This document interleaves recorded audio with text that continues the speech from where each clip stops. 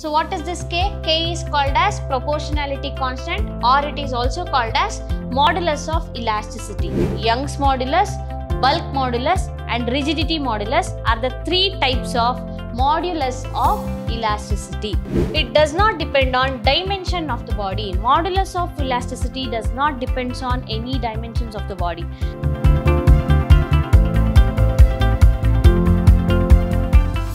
Hello everyone.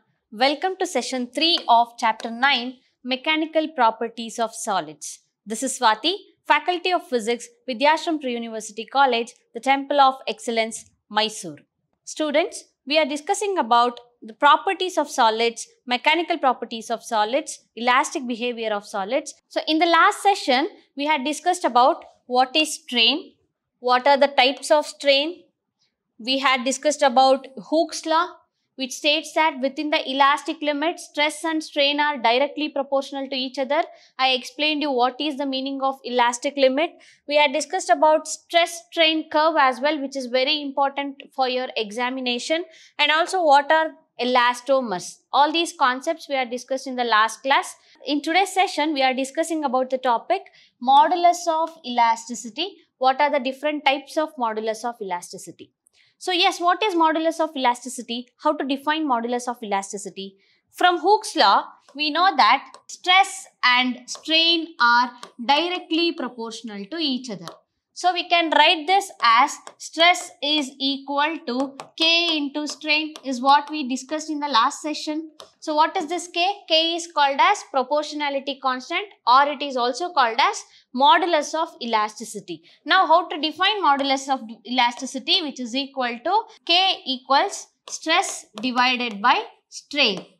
So this is the expression for modulus of elasticity. Now looking at this expression, we can define what is modulus of elasticity. So it is the ratio of stress acting on the body. It is the ratio of stress acting on the body to the resulting strain produced in it. It is the ratio of stress acting on the body to the resulting strain produced in it is called modulus of elasticity. It is denoted by the letter K. I hope it is clear to everybody and Newton per meter square is the SI unit of modulus of elasticity. Yes ma'am, how do you get Newton per meter square? As I explained in the last class, the SI unit of stress is Newton per meter square because stress is defined as force acting per unit area. So SI unit of force is Newton and area it is meter square. So if this goes to numerator you will get Newton per meter square. This is the SI unit of stress. Now we are talking about the SI unit of modulus of elasticity and it is defined as ratio of stress to strain. Stress SI unit of Newton per meter square and strain is a unitless quantity. It is a dimensionless quantity. So stress has no unit. Since stress has no unit, the SI unit of modulus of elasticity is Newton per meter square. Next, it does not depend on dimension of the body. Modulus of elasticity does not depends on any dimensions of the body. It depends on the nature of the material or it depends on the type of material. Then, what are the parameters on which this modulus of elasticity depends? So, it depends on temperature. How does it vary with temperature? Modulus of elasticity decreases with increase in temperature. Modulus of elasticity is inversely proportional to temperature. As the temperature increases, modulus of elasticity decreases. It does not depend on the dimension of the body, but it depends on the type of the material. For all the materials, the modulus of elasticity is not same. For different different types of materials, it varies. So, modulus of elasticity does not depends on dimensions. It depends only on the type of material. So, to remember, you have to keep this simple formula in mind. Modulus of elasticity or K which is equal to the ratio of stress to strain. This is the shortcut to remember the definition of modulus of elasticity stress by strain which can also be written as K equals stress by strain. Now, this is the definition and the detail of modulus of elasticity. Now, let us see what are the types of modulus of elasticity. So there are three types of modulus of elasticity. We had studied about three types of stress, three types of strain and now we are studying about three types of modulus of elasticity. So it's also easy to remember. So what are the types of modulus of elasticity? Let us see. So first one is Young's modulus. It is denoted by capital Y. Young's modulus. The next one is bulk modulus. And the last one is rigidity modulus. Young's modulus, bulk modulus and rigidity modulus are the three types of modulus of elasticity. So let us now see what is Young's modulus, what is bulk modulus and what is rigidity modulus in detail. So first one is Young's modulus. So you have to remember it is denoted by capital Y. So what is the, so how to define Young's modulus? What does it mean?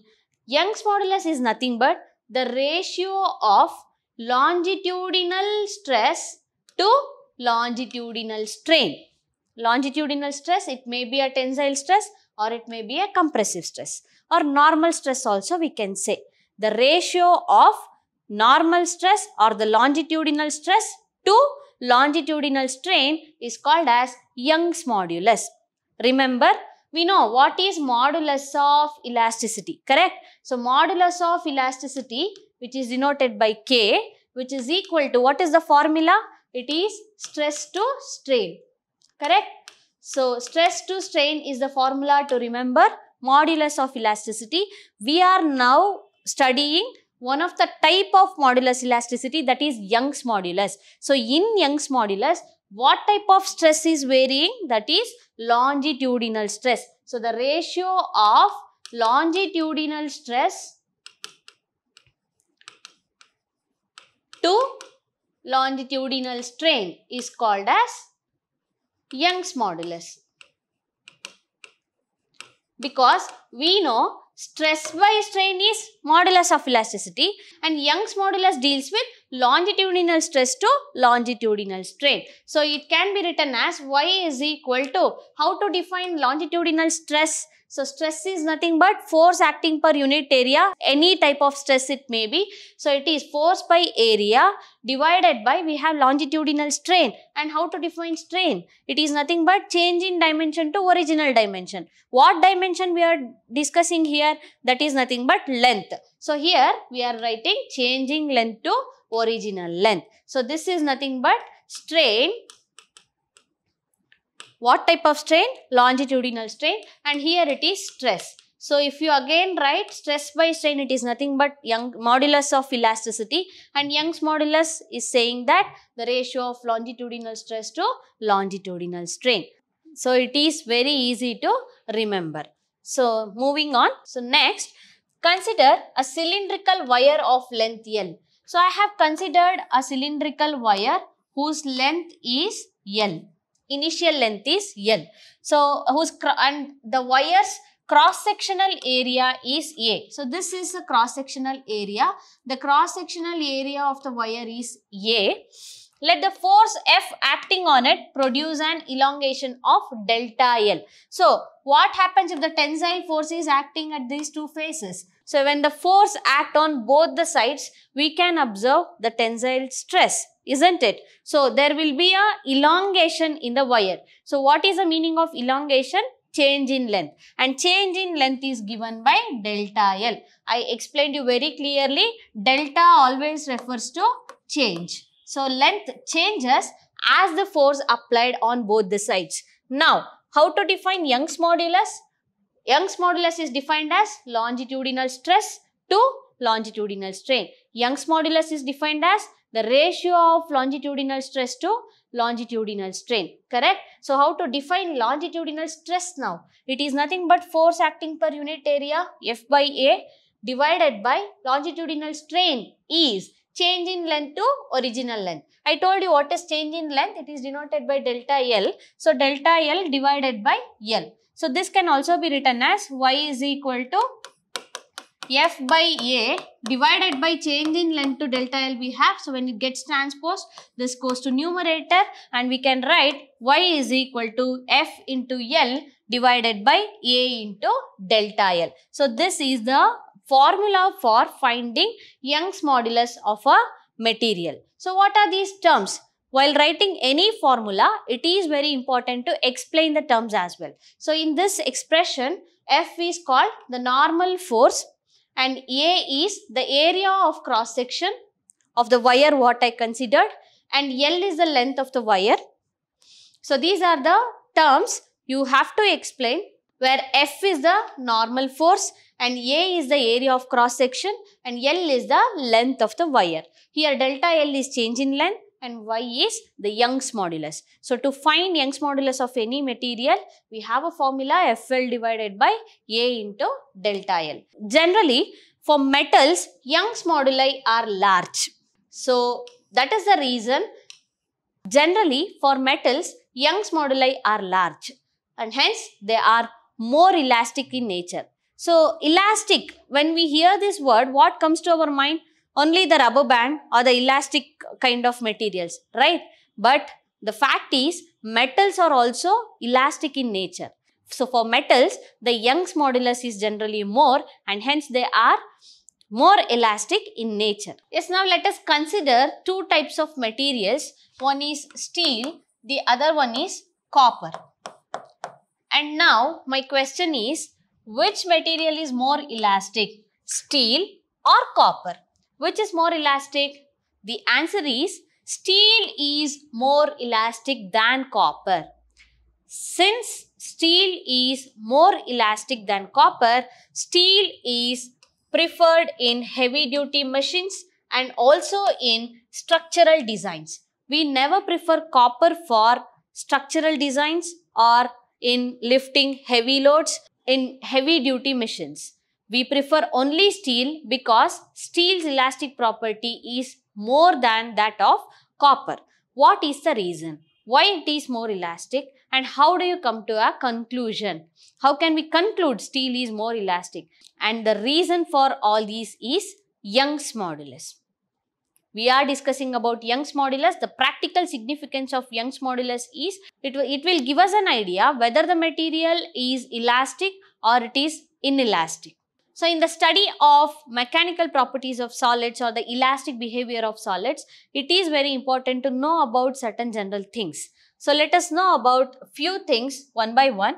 Metals have large value of Young's moduli. I told you what is Young's modulus, how important choosing a material. So metals, all metals generally will be having large value of Young's moduli and therefore these materials require a large force to produce a small change in length. Take one example, take one steel wire as well as take a rubber band and try to stretch both. So rubber band can be easily stretched but it is not possible to stretch the steel wire as easily as you stretch your rubber band.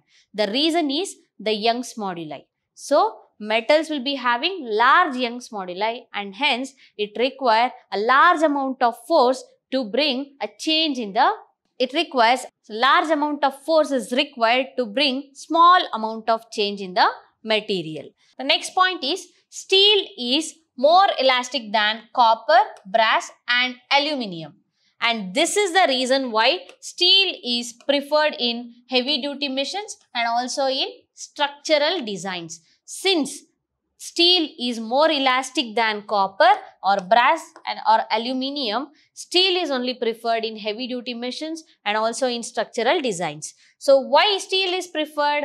Because I told you Young's modulus is the reason. Young's modulus of steel is more than that of rubber and also copper and also of any other materials. So, steel is only preferred because Young's modulus of steel is more. Even if you compare steel and rubber, which is more elastic? Steel is more elastic than that of rubber. So, if we consider rubber physically and if we stretch it, we'll say that, oh, it is more elastic. No, actually, steel is more elastic than rubber. The conclusion is because of Young's modulus. So the Young's modulus of steel is more than that of rubber and hence it is more elastic. So Young's modulus for a perfectly rigid body is infinity. So I told you about what is rigid body. A solid, a hard solid object that is having perfect size or shape. But solids can be bent, stretched. So uh, in practical, no body is perfectly rigid. But for a perfectly rigid body, the Young's modulus is infinity. So let us move on to our next type of modulus of elasticity that is rigidity modulus. Rigidity modulus is denoted by the letter G. Now, we know what is modulus of elasticity. I am saying that modulus of elasticity is denoted by K and the formula is stress divided by strain which means the ratio of stress to strain is called as modulus of elasticity. And how to define rigidity modulus now? So, the ratio of shearing stress that is given by sigma s to the shearing strain is called as rigidity modulus. The ratio of shearing stress to shearing strain is called as rigidity modulus and it is given by, you can easily remember this formula. So, if you remember this formula, you can define what is rigidity modulus. So, it is given by F by A into theta, where theta is called as shear strain. So, consider a cylinder of vertical height. So, I am considering a cylinder of vertical height L. So, this is the height of the cylinder or which is having a vertical length that is L. Let tangential force acting on its surfaces produce a displacement of delta x. Now, I am applying some tangential force here. Because of this tangential force, we can observe a displacement change in position. The displacement is given by delta x. Let theta be the angular displacement of vertical face. So now delta x is displacement of the vertical face. Now it is making an angle theta. So this theta is nothing but the angular displacement of vertical face. Now shear modulus can be defined as it is denoted by G and it is defined as shearing stress divided by shearing strain. Now let us write the expression for this. So shear modulus G is equal to shearing stress by shearing strain and shearing stress is nothing but any type of stress I told you it is nothing but force per unit area divided by. How to define shearing strain? We have learned this in detail in the concept called shearing strain in our previous session. So shearing strain is defined as delta x by L. So we know delta x by L is equal to theta and the same expression can be written as G equals F by A into theta. So what is F by A? F by A is nothing but stress. So it is nothing but shearing stress. Shearing stress is given by sigma s. So the expression becomes G is equal to sigma s by theta. Why it is sigma s by theta? F by A is nothing but sigma s and in the denominator we have theta. So rigidity modulus G is given by sigma s divided by theta or sigma s is equal to G theta. This is the expression for rigidity modulus of solids. So, liquids and gases do not have rigidity modulus because they do not have a definite shape. Since the liquids and gases do not have definite shape, they do not have rigidity modulus. So, our next type of modulus of elasticity is bulk modulus. So, it is denoted by B. So let us define bulk modulus. It is nothing but the ratio of hydraulic stress acting on a body to the corresponding strain is called as bulk modulus. What happens if the hydraulic stress acts on a body? There will be a resulting hydraulic strain or there will be resulting volume strain. So the ratio of hydraulic stress that acts on a body to bulk strain or the volume strain that causes is called as bulk modulus and it is denoted by B. So, bulk modulus can be easily remembered by knowing this formula that is hydraulic stress divided by hydraulic strain. Because of this stress that acts on a body, there causes a strain. So, what type of stress I am talking about here? It is hydraulic stress that causes hydraulic strain of an object. So, the ratio of hydraulic stress to hydraulic strain is called as bulk modulus. So consider an object of whose volume is V. So let us apply some pressure. So when hydraulic stress or P is applied, what is the observation? There will be a change in volume. So that change in volume is given by delta V. And bulk modulus can be written as B is equal to stress is nothing but force per unit area, correct? So force per unit area can also be written as P pressure. That is the pressure what we are applying on the object. So what is the result that we can observe? There is a change in volume. Change in volume is delta V and strain can be defined as change in dimension to original dimension. What is the dimension that is changing here? That is volume. So that is change in volume by original volume.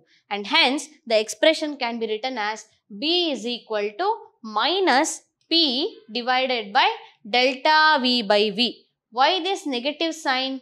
So the negative sign indicates that increase in pressure. As the pressure increases, the volume of the body gets decreases. So increase in pressure results in decrease in volume and hence bulk modulus can be written as B is equal to minus PV divided by delta V. This is the formula for bulk modulus. So next we have compressibility. What is compressibility? How to define it? In the study of mechanical properties of solids, compressibility concept is also very important. So compressibility is nothing but the reciprocal of bulk modulus. The reciprocal of bulk modulus. In the last slide, we have seen what is bulk modulus.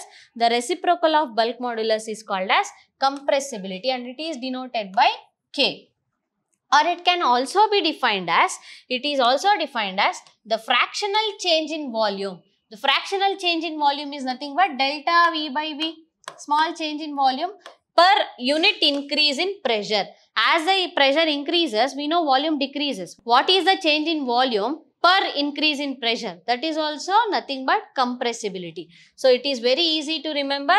Compressibility is defined as the fractional change in volume that is delta V by V per unit increase in pressure. So, it is given by the formula K is equal to, I told you, it is the reciprocal of bulk modulus. So, K equals 1 divided by B. We know what is B. We have studied in the last slide. It is PV divided by delta V. Correct? So now it is nothing but the reciprocal of B. So the formula for compressibility is 1 divided by P into delta V by V. Or we can also write it as delta V divided by PV, the reciprocal of this. That is called as compressibility. And what is the unit of compressibility? What is the SI unit of bulk modulus? Let us now write the SI unit of bulk modulus. So, bulk modulus is nothing but again stress by strain and the SI unit is Newton per meter square. Correct? Now, compressibility is the reciprocal of bulk modulus which means the SI unit of compressibility will be per Newton meter square.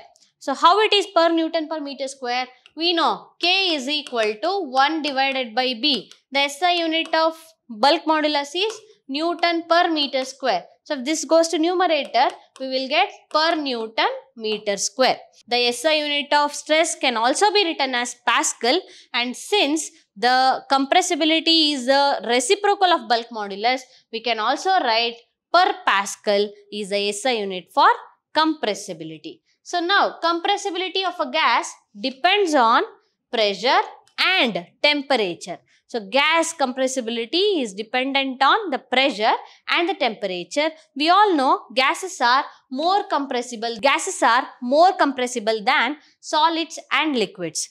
So solids are having least compressibility they are less compressible because what is the reason why solids are less compressible?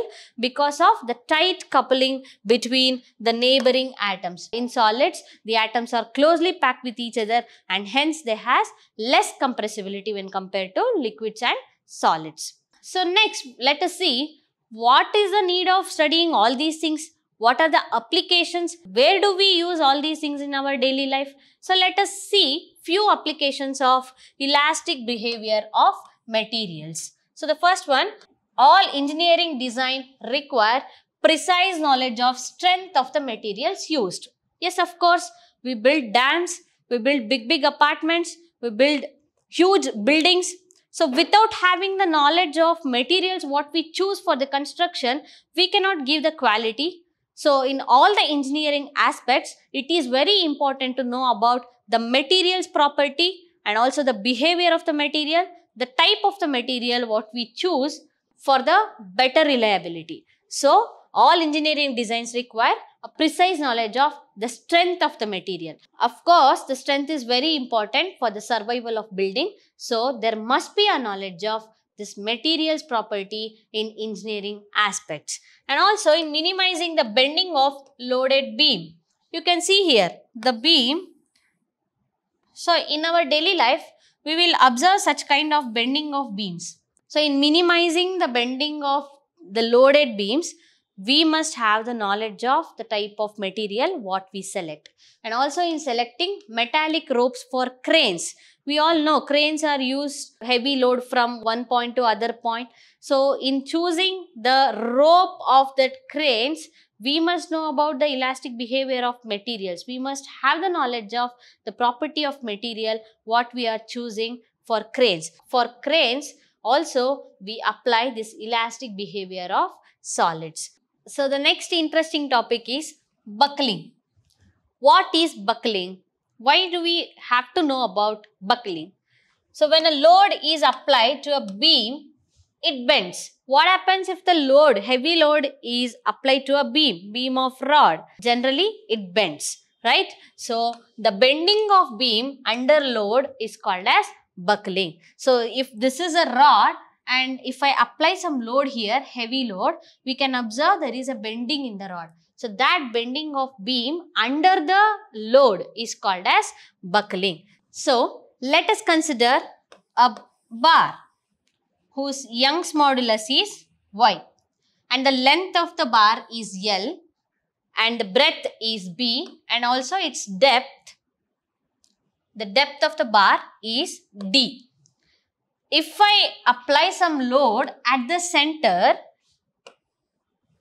so let us consider a bar of beam whose Young's modulus is Y and its length is given by L and the breadth of the bar is B whose depth is given by D. So, the weight or the load I am applying at the center. So, what happens when the load is applied at the center?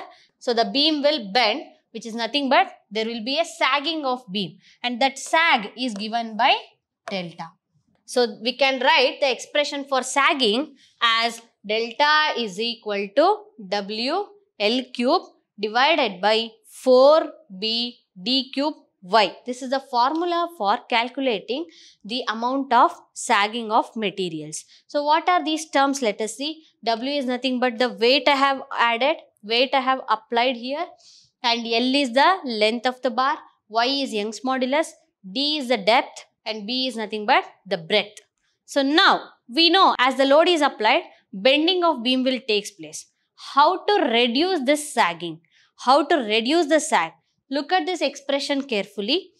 By varying certain terms in this expression, we can conclude that we can say that sagging can be reduced. How it is possible? Look at the expression. We have delta is equal to W L cube weight and L is nothing but the length divided by 4b d cube y. Here weight and length are directly proportional with delta but you can observe b and d are in denominator.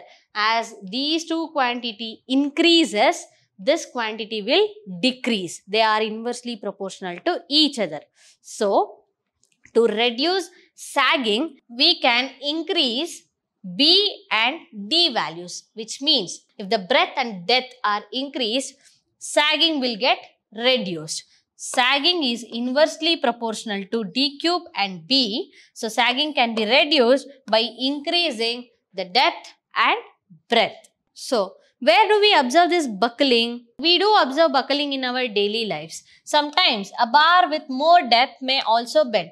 Consider a bar whose depth is more can also be bent. So to avoid that, bar is given I shape. This type of bars you, you may have all come across. This type of I shape bar beams, we are all familiar with the I shape bars we will come across in our daily life. So it what happens if the shape is I? It gives large load bearing capacity. It gives large load bearing surface and enough depth to prevent bending. So to prevent bending, I-shape beam will give uh, enough depth and also large load bearing surface. So this shape also reduces the weight and the cost of the beam.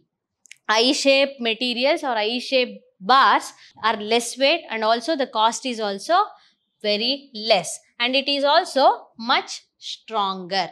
I-shape beams are preferred because they are less weight and they are cost effective and also they are much stronger. Pillars. Pillars also plays a major role in construction. Pillars with rounded ends like this. If the pillars are having rounded ends, they support less load. To overcome this disadvantage, pillars with distributed shape at the ends, they support more load than pillars with rounded ends. If you choose the pillars with the distributed ends, that is a great choice because it can support more load when compared to the pillars with rounded ends. So, our next topic is lateral strain. So, what is the meaning of lateral strain? So, it is nothing but the ratio of change in diameter we know diameter is given by D and I am talking about change in diameter that is nothing but delta D. The ratio of change in diameter to the original diameter. We know strain is nothing but change in dimension to original dimension and here we are talking about diameter. So, the ratio of change in diameter delta D to the original diameter of the wire is called as lateral strain. So, lateral strain is change in diameter to the original diameter. Change in diameter is delta D, original diameter is D. It is sometimes denoted with a negative sign. So, I will tell you what is the significance of negative sign. When a wire is stretched, its length increases. So, take a rubber band or a wire.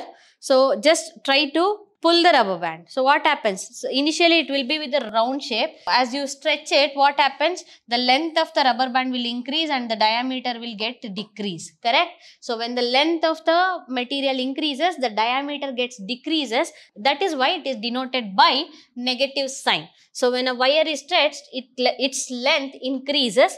At the same time, its diameter decreases. As the length of the wire increases, the diameter gets decreases and hence it is denoted by negative sign. So, length increases along the direction of the applied force. Whatever the force we are applying along the direction of the applied force, the length increases. Or if I apply force in the opposite direction, the length decreases. Length changes along the direction of applied force. So, diameter decreases along the perpendicular direction. As the length increases, diameter decreases. It changes in perpendicular direction. And that is why it is denoted by negative sign. So, lateral strain is given by minus delta D divided by D. Next important concept is Poisson's ratio. So, to understand this Poisson's ratio, we must have the knowledge of lateral strain. So, what does it says? How to define this? It is nothing but the ratio of lateral strain to longitudinal strain. We know what is longitudinal strain, correct? It is nothing but change in length to original length. We also know what is lateral strain change in diameter to original diameter. So, it says that the ratio of lateral strain to longitudinal strain is a constant for given material.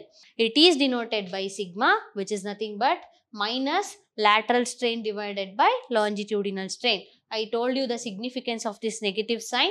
It is given by minus delta D by D divided by delta L by L which is nothing but change in length to original length which is the longitudinal strain definition. So, the negative sign shows that as the length increases, the diameter decreases. So, Poisson's ratio has no unit and no dimension. Why there is no unit and no dimension? Because it is dealing with both strain quantities. In numerator also we have strain and in denominator also we have strain. For strain there is no unit and hence Poisson's ratio has no unit and no dimension. So, the value of Poisson's ratio depends on the nature of material which means for different different materials the value of Poisson's ratio varies. It is not same for all the materials. For most of the materials Poisson's ratio lies between 0.2 and 0.4. Generally the range is from 0 to 0.5 but for most of the materials the Poisson's ratio value lies between 0.2 and 0.4 when there is no change in volume, when there is no change in volume, the body is perfectly incompressible.